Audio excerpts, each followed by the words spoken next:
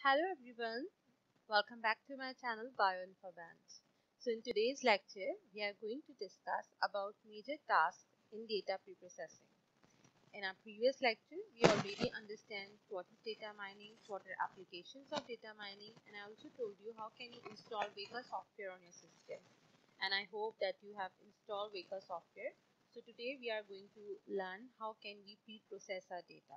Prepare a slide for you uh, in which I'm going to discuss major tasks in data pre-processing. First of all, you can see data cleaning.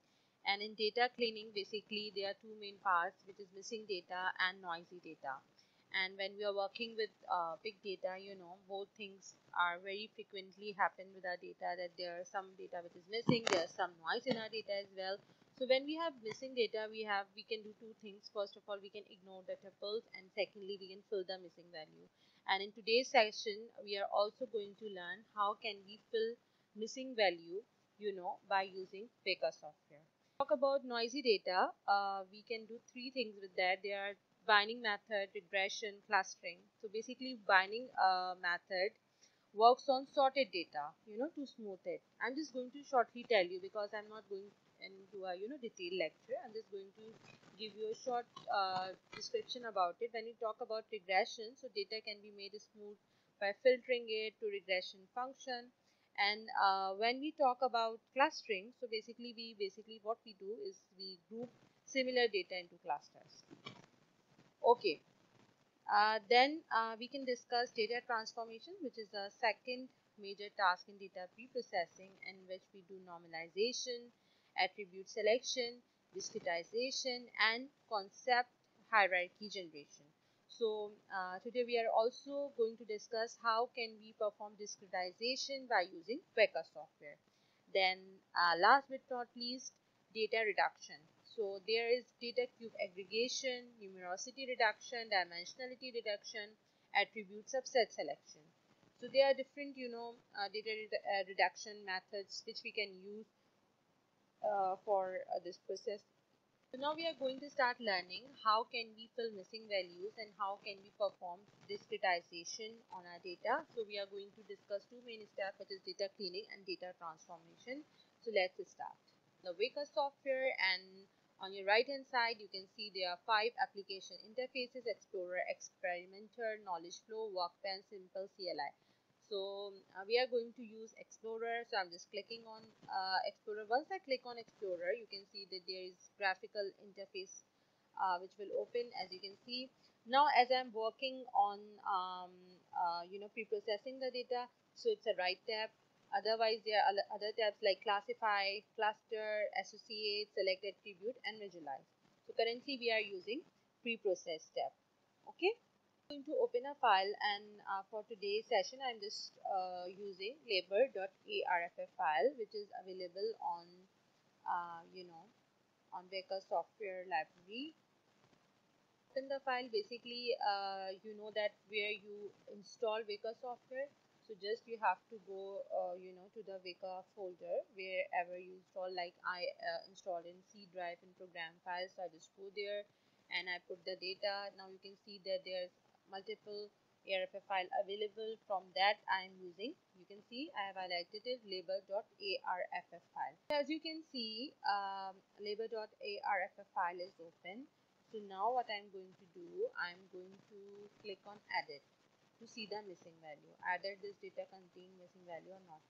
Uh, so you can see that there are a lot of missing values are there. You can see that there is written missing missing missing missing so let's fill the missing values first okay? So how can we fill the missing values? Let's see. First of all you have to click on choose okay? Then you have to click on filter. Then you have to click on unsupervised okay? Then you have to click attribute okay? I hope you know what are attributes. Basically attribute is a changeable property of you know some components of a program. So i'm going to click on attribute now from attribute i am going to select replace missing value. Uh, okay you have to find out yes here it is replace missing values. I have chosen it. You can see that replace missing values is there. And now i'm going to click on apply. Okay once i apply it now i'm again going to see my file whether the missing values are filled or not. As you can see, all the values are filled. So that means we at least learn how can we clean the data by using Weka software. Till now we learn how can we replace missing values. So let's understand what this current relation tells us about. Instances are 57. Basically what is instance? Um, uh, these uh, instances show the records or rows in our data. Sum of weight is 57 as well. Let's discuss attributes. As I told you that attribute is some like uh, something like which is changeable property. Okay. So there are two types of attributes, country, uh, continuous attribute and categorical attribute. So basically in continuous attributes, we talk about real numbers, height, temperature, etc.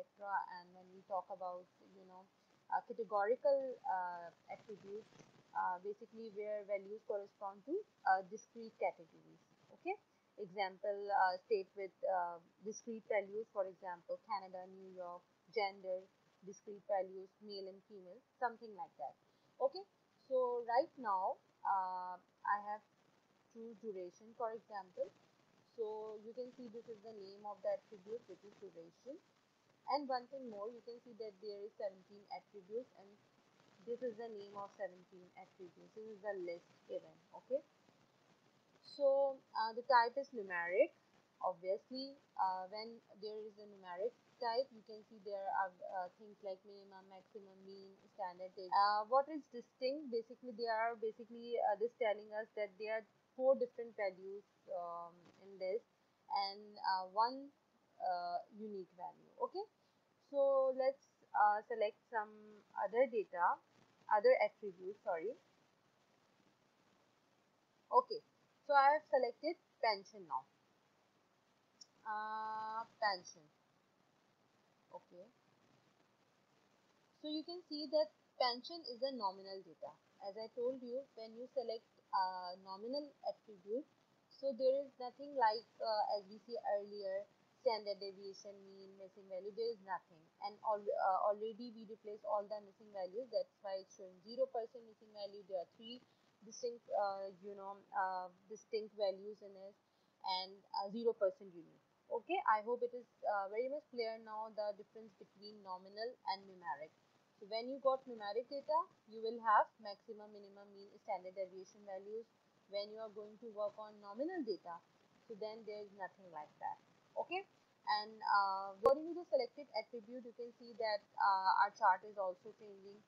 Uh, basically as you can see this chart um, is telling us about bad and good. Okay it is classified like bad or good. So uh, you can see that uh, blue color is representing uh, you know bad and red color is representing good. Seven values in good labeling and almost 20 values in bad labeling.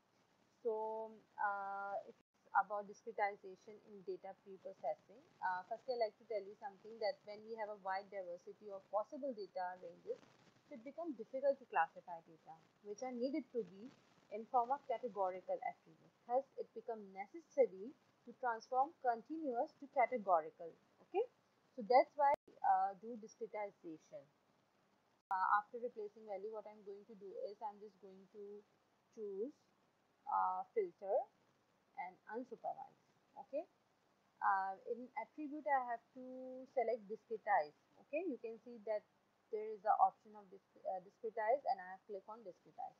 Once I selected discretize, now I have to, uh, you know, uh, click apply, click on apply. But if uh, if you want to, you know, um, edit properties, so what you can do is you can click here if you want to edit some properties you can change it if you want uh, you know to customize it according to your requirement right now i'm just using default parameters so I'm just going to click OK. But if you uh, wish to change it, you can change it like this. So I'm just going to click on OK and I'm going to click on apply. Okay, once I apply, so now the discretization is performed in our data. So that's all about today's lecture and I hope you will learn to, in today's lecture how can we clean the data, how can we perform uh, you know, missing values and discretization by using Weka software. I hope this uh, lecture will be very fruitful for you. And if you like this uh, lecture, so do and subscribe to my channel. Thank you.